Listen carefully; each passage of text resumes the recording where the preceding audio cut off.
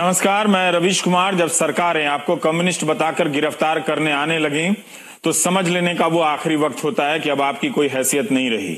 जब TV channel, urban नक्सल और communist बताकर, देश का दुश्मन बताकर, प्राइम टाइम में बहस करने लगे तो समझ लेने का आखिरी वक्त होता है कि अब नौकरी से लेकर पढ़ाई पर बात नहीं होगी। अब आपकी बात ही नहीं होगी और जो भी होगी, उस प्रोपेगेंडा के हिसाब से होगी, जिसे मैं अक्सर थीम एंड थ्योरी यानी हिंदू मुस्लिम कहता हूँ। जिसे लेकर एक तरफ़ विरोधी या सवाल करने वालों को कुचला जा सके और दूसरी तरफ़ सवाल ना उठे, इसका इंतज़ाम हो। थीम एंड थ्योरी के तहत तीन मूर्ति में किस किस की मूर्ति लगेगी, ये बहुत कमज़ोर टॉपिक था, ये मुझे पता था। इसलिए आज एक नया टॉपिक न्यूज़ मीडिया के मार्केट में लॉन्च हुआ है, जिसके सहारे धीरे धीरे मीम बनकर आपके व्हाट्सएप में आने लगेगा कि ये लोग, कुछ लोग देश के दुश्मन हैं। आप लाठियाँ खाते रहे कि सरकारी नौकरी में बहाली कब होगी, मगर आपके सारे रास्ते बंद कर दिए जाएँगे। सरकार के अलग अलग विभागों के पास 24 लाख नौकरियाँ हैं देने के लिए, मगर बहस सिर्फ़ इसी बात पर है कि देश को एक नया दुश्मन मिल गया है, जिसका एक अंग्रेज़ी नाम है अर्बन नक्सल। प्रोपेगेंडा, नए शब्दों, नई भाषा की डिज़ाइन का शातिर खेल होता है। इसका पता तब चलता है जब लाखों नौजवानों की ज़िंदगी बर्बाद हो जाती है। पुणे पुलिस ने आज देश भर में छापे मारकर पाँच मानवाधिकार कार्यकर्ताओं, पत्रकारों, वकीलों और कवियों को गिरफ़्तार किया है। इस साल जनवरी कोरेगांव भीमा में हुई हिंसा के संदर्भ में ये गिरफ्तारी बताई जा रही हैदराबाद से वरवरा राव, फरीदाबाद से सुधा भारद्वाज, मुंबई से अरुण फरेरा, वर्नान गुंजालविस दिल्ली से गौतम नवलखा गिरफ़्तार किए गए हैं। दिल्ली, फरीदाबाद, गोवा, मुंबई, रांची, हैदराबाद, कई जगहों पर छापे पड़े हैं। वकील प्रशांत भूषण ने ट्वीट किया है कि फांसीवादी दांत अब खुले में निकल आए हैं। पुणे पुलिस गौतम नवलखा को पुणे ले जाना चाहती थी, मगर दिल्ली हाईकोर्ट ने रोक लगा दी। वे पुलिस सुरक्षा में अपने ही घर में रहेंगे और सिर्फ़ अपने वकीलों से मिल सकेंगे। रांची में फादर स्टान स्वामी, तेलंगाना से क्रांति के पत्रकार, क्रांति के घर में भी छापे पड़े लैपटॉप, पेन ड्राइव और अन्य दस्तावेज़ सीज किए गए हैं। इनमें क्या है, अभी इसकी कोई जानकारी नहीं है, कुछ गिरफ्तारी की पुष्टि नहीं हो पाई है। सत्तर साल के वरवरा राव कवि हैं और एक्टिविस्ट हैं। इस उम्र में उन्हें कथित रूप से प्रधानमंत्री की हत्या की साजिश रचने के आरोप में गिरफ़्तार किया गया है। बताया गया है कि पुणे पुलिस ने जून महीने में पाँच लोगों को गिरफ़्तार किया था। इनमें से एक के यहाँ से एक चिट्ठी मिली थी, जिसमें वरवरा राव का नाम था। प्रधानमंत्री की हत्या का मामला हो और गिरफ्तारी अगस्त के आखिर में हो, वो भी जून बीस जुलाई बीत जाने के बाद, अगस्त बीत जाने के बाद तो बहुत कुछ समझ में आता है और बहुत कुछ उससे भी ज़्यादा समझ में आता है। पिछले साल 31 दिसंबर को कोरेगांव भीमा युद्ध के 200 साल होने पर पाँच लोगों की गिरफ्तारी हुई थी, वहाँ हिंसा हो गई थी। जून के महीने में सुधीर धावले, सुरेंद्र गडलिंग, महेश राउत, रोना विल्सन और शोमा सेन को अरेस्ट किया गया था। इन पर आरोप था कि कोरेगांव भीमा गाँव में इन्होंने भड़काऊ भाषण दिए, जिससे बाद में हिंसा हुई। इन्हीं पाँच लोगों से पूछताछ के बाद 28 अगस्त को कई जगह पर छापे पड़े हैं, ऐसा बताया जा रहा है। आपको याद होगा कि कोरेगांव भीमा में तीन लाख लोग जमा हो गए थे। यह मौका था मराठा पेशवा के ऊपर, दलित समुदाय की जीत को यादगार रूप में मनाने का। दलित कार्यकर्ता और विचारक शोषितों की जीत के रूप में मना रहे थे, बड़ी संख्या में पहुँचे थे, मगर दक्षिणपंथी कार्यकर्ताओं ने इसका यह कहकर विरोध किया कि वो जीतने वाली सेना दलितों की नहीं, ब्रिटिश सेना थी। इसका जश्न कैसे मन सकता है?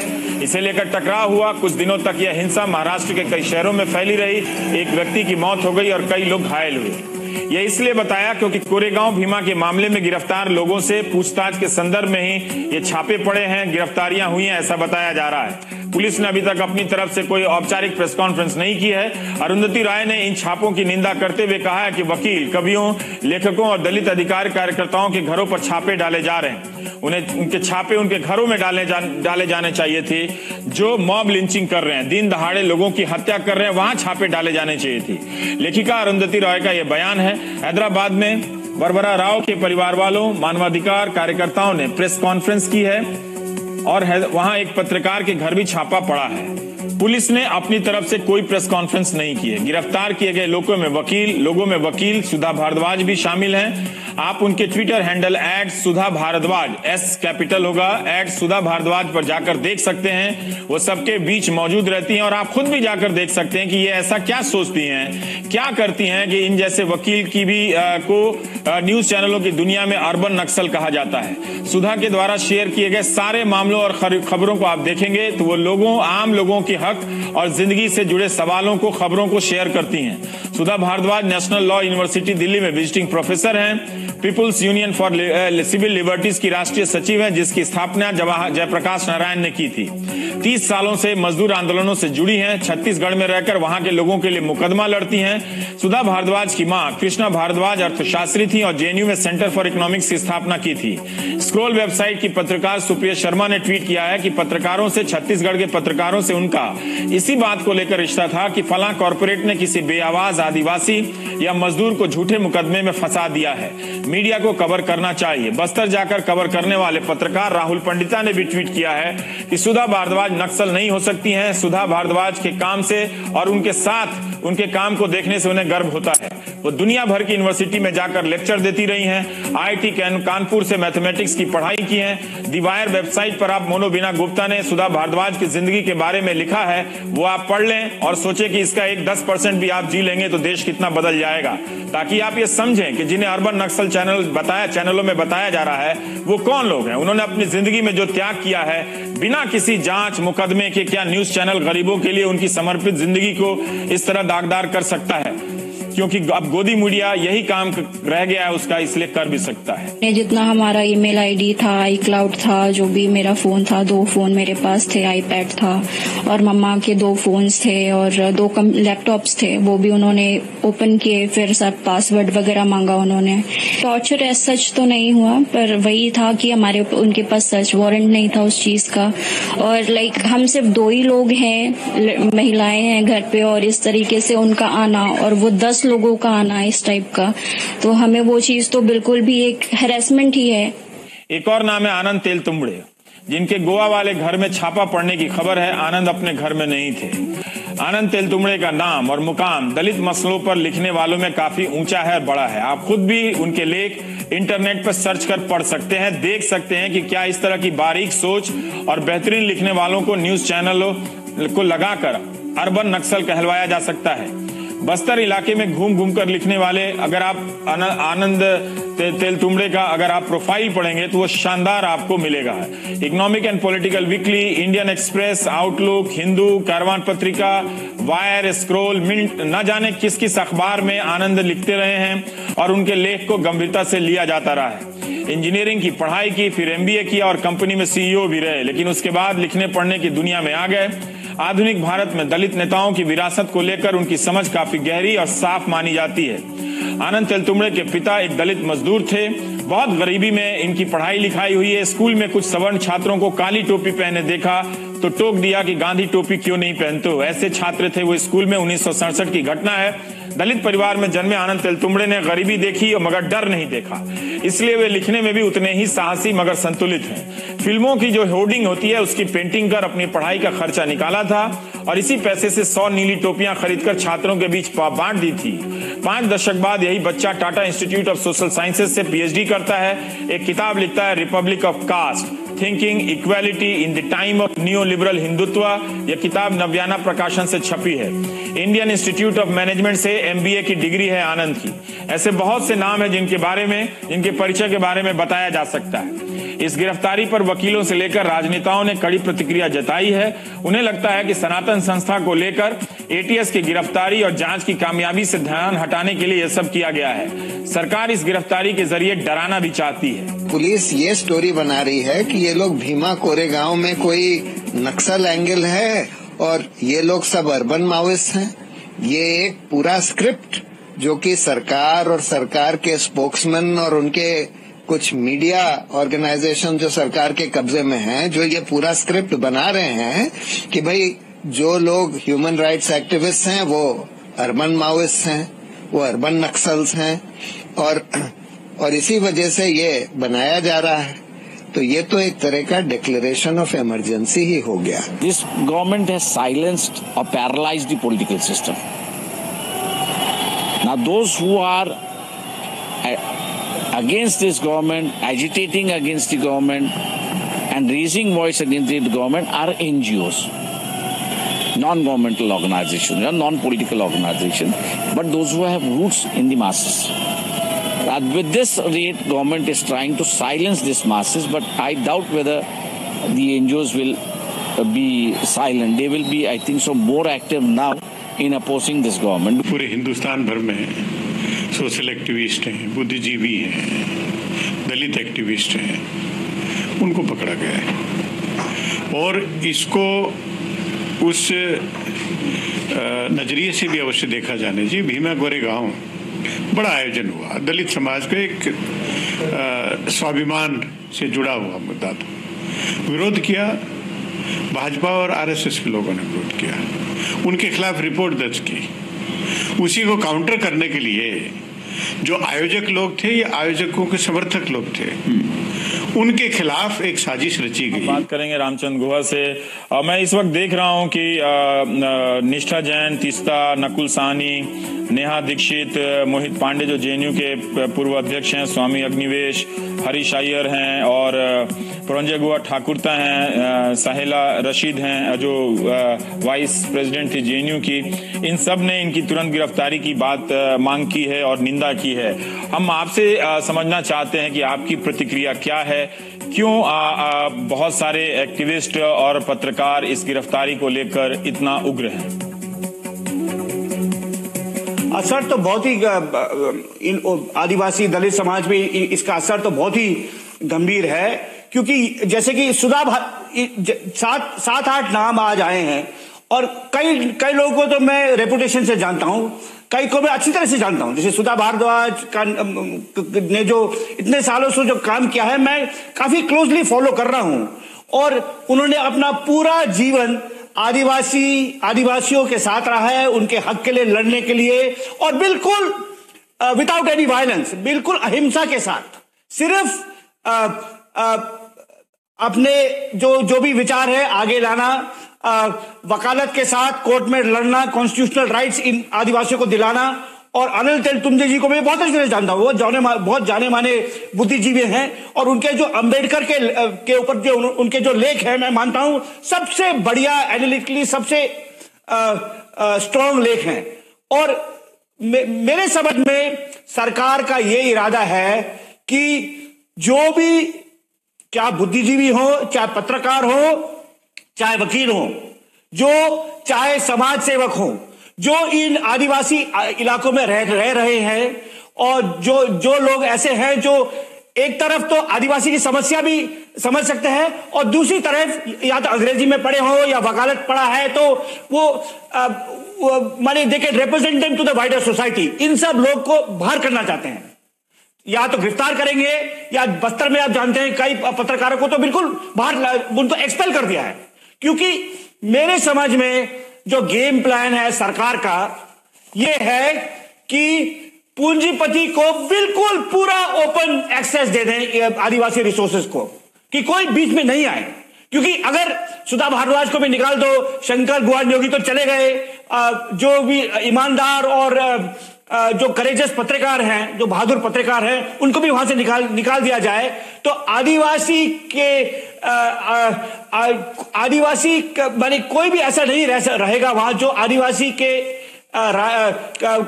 की जीवन के का, साथ दे और उनके जो राइट्स हैं उनको आगे लाए। एक दूसरा सवाल आपने सुधा भारद्वाज के बारे में कहा। राम हम जानना चाहते हैं कि वो सुधा भारद्वाज वकील हैं ट्विटर पर हैं सबके सामने हैं। और Delhi national university law Delhi में वो पढ़ाने भी आती हैं विजिटिंग प्रोफेसर हैं छात्र उनके क्लास में जाने के लिए तरसते हैं। भले उनकी तरह छत्तीसगढ़ में जाकर गरीबों के लिए वकालत ना कर पाते हो मगर सराहते हैं चाहते हैं कि वो भी ऐसा कुछ कर सकें। आप उनके बारे में बता सकते हैं क्या? मैं उनको पर्सनली नहीं, नहीं जानता हूँ लेकिन बहुत सालों से मैं उनका जो उन, उनका वर्क फॉलो कर रहा हूँ। और आ, आ, अब मैं, मैं जानता हूँ क्योंकि मैं भी छत्तीसगढ़ कई बार गया हूँ। और शंकर गुहा जी से मेरी भी ताल्लुकात थी। और शंकर गुहा योगी जी ऐसे माने कार्यकर्ता थे जो पर्यावरण आंदोलन में भी शामिल थे। मजदूरों मजदूरी, मजदूर, मजदूरों के साथ भी काम कर रहे, करते थे। तो मैं इनको सुधा भरद्वाज को अच्छी से पर्सनली अच्छे से नहीं जानता हूँ।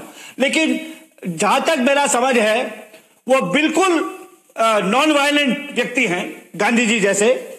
सोच समझ से बोलते, बोलती है बोलते हैं, और कभी भी उन्होंने हिंसा को समर्थन नहीं दिया है। सिर्फ़ मजदूर, किसान, आदिवासी, दलित के साथ काम करना उनके अगर गलत केसेस पुलिस ने लाए हो तो उन, उन, उन, उनका विरोध करना कोर्ट में लड़ना उनको रिलीफ देना यही काम बहुत साल सालों से कर रही है। और उन्होंने बहुत सारे पत्रकारों को समाज सेवकों को ह्यूमन राइट्स वर्कर्स को सहायता दी है बहुत सालों से। तो she is a very respected person and the last person you will call urban Naxal मैं उनको प्योरेस्ट ऑफ़ इंडियन डेमोक्रेट मानूँगा।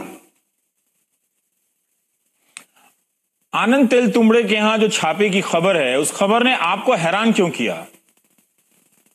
जी जी। मेरे समझ में यह टर्म इसलिए आया है क्योंकि अर्बन मिडिल क्लास को डराने के लिए।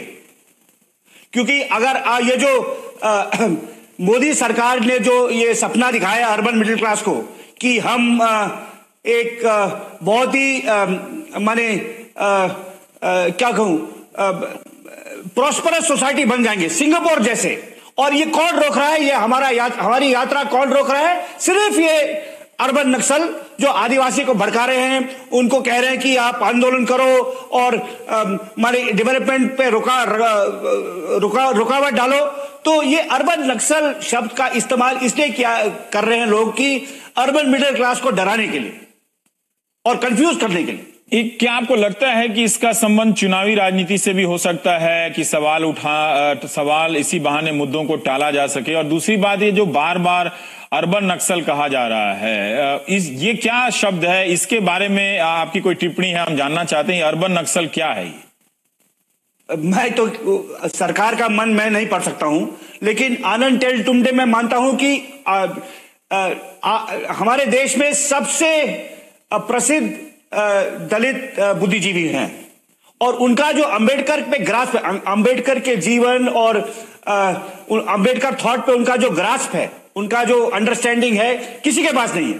He is the leading Ambedkar scholar in India today और एक तरफ़ तो मोदी जी बोलते हैं कि मैं अंबेडकर हमारे रोल मॉडल है मैंने अंबेडकर का म्यूज़ियम खोला है और दूसरी तरफ़ उनकी सर, उनकी जो सरकार है सबसे प्रसिद्ध जाने माने अंबेडकर स्कॉलर पे हमला करती है। मैं मुझे समझ में नहीं आता। क्या ये अर्बन नक्सल का जो जुमला गढ़ा गया क्या इसलिए किया गया है कि शहरों में जो नौजवान सक्रिय हैं जो सवाल करते हैं और आ, हर तरह की नाइंसाफी को क्वेश्चन करते हैं उनको डराने के लिए इस तरह की एक टैगलाइन बनाई गई है ताकि शहर में रहने वाले लोगों को ये कहा जा सके देखिए आप नक्सल हैं। ये तो पहली बात तो जो आपने पहली बात जो कही तो उसमें बिल्कुल सहमत हूँ। यह सरकार डराना चाहती है। जो भी प्रश्न उठाएँ जो इस सरकार के जो कमजोरियाँ हैं उन पे ध्यान दें। उनको डराने के लिए ये ऐसा कर, कर, करा जा रहा है। लेकिन चुनाव से इसका क्या लेना देना है वो तो आप तुम बता सकते हो रवीश। मैं चुनाव मैं मैंने इलेक्शन एक्सपर्ट नहीं हूँ। लेकिन मेरे समझ में क्योंकि मैंने आदिवासियों पे बहुत सालों से काम किया है। ऐतिहासिक तौर पे भी मैंने आप, आपको बताया मैंने वेरिया रेलवे की जीवनी भी लिखी है। तो मैं जो भी आदिवासी सरकार जि, जिस जिन इलाकों में हमारे आदिवासी रहते हैं वो सबसे माने नेचुरल रिसोर्स रिच हैं। वहाँ के जो वन जो वन संपदा भी सबसे ज़्यादा है मिनरल रिसोर्स भी वहीं सबसे ज़्यादा है वहाँ पे हाइड्रोइलेक्ट्रिक रिसोर्स भी वहीं पाए जाते हैं। तो प्राइवेट कॉरपोरेट सेक्टर का ध्यान आदिवासी इलाकों पे है। और कॉरपोरेट सेक्टर इस सरकार को सबसे ज़्यादा सपोर्ट करती है और यह सरकार कॉरपोरेट सेक्टर को ज़्यादा सपोर्ट करती है। तो पूंजपति के लूट को आसान करने के लिए यह सब गिरफ्तारी हो रही है मेरे समझ में। क्योंकि अगर आ, कोई भी प्रदेशी सरकार हो चाहे छत्तीसगढ़ में हो मध्य प्रदेश में हो झारखंड में हो महाराष्ट्र में हो और यह पाया जाए कि बोलो कि आ, बहुत ही वैल्यूएबल मिनरल रिसोर्सेज कहीं गढ़चिरौली में पाए जाए। और ये आदिवासी इलाका है फिफ्थ शेड्यूल में भी आता है तो कॉन्स्टिट्यूशनल तौर पे आप ये ज़मीन कब्जा नहीं कर सकते हैं सरकार नहीं ले सकती है। तो आ, लेकिन हमारे पूंजीपति लोग उनके जो पूंजीपति दोस्त वो चाहते हैं कि ये मिनरल रिसोर्स उनके पास आए। तो आदिवासी को वहाँ से हटाना आ, उनको माने बिल्कुल डिस्पोजेस करना इसको आ, इस इस रास्ते में जाना चाहें तो आप नहीं चाहते हैं, आप नहीं चाहें, सरकार नहीं चाहेगी और पूंजीपति लोग और कम चाहेंगे कि वहाँ पे एक्टिविस्ट हो, पत्रकार हो सुधा भारद्वाज जी जैसे वकील हो, जो ये सब अन्याय रोके। तो ये मेरे समझ में ये तो बिल्कुल साफ़ है। This is a corporate political plot चुनाव से क्या संबंध है ये मैं नहीं बना सकता हूँ। अरुंधति रॉय हो, प्रशांत भूषण हो, इंदिरा जयसिंह हो वकील इंदिरा जयसिंह, इन सबने और कई अन्य व्यक्तियों ने डॉक्यूमेंट्री बनाने वालों ने, मजदूर संगठनों ने इनकी इस गिरफ्तारी की निंदा की है। राम, मैंने कभी आपको इतना एजिटेटेड, इतना उग्र नहीं देखा। वो मुझे अर्बन नक्सल कहना चाहे, कह सकते हैं। मुझे तो कोई कोई तरह नहीं है। जो भी कहना चाहे कह, कह, कह सकते हैं। आपको पता है कि मैंने गांधी जी की जीवनी लिखी है। मेरा पहला जो उसका हिस्सा था तीन साल पहले आया दूसरा हिस्सा अग, अगले हफ़्ते आ रहा है। और मैंने पिछले पंद्रह बीस साल से गांधी जी पे ही मैंने रिसर्च किया है। और मेरे समझ में अगर गांधी जी आज हमारे बीच होते तो वो सुधा भारद्वाज के साथ रहते। उनके साथ Gandhi ji would be defending Sudha Bharadwaj in court today अगर वो वकालत में होते और वो अगर आज जीवित होते तो वही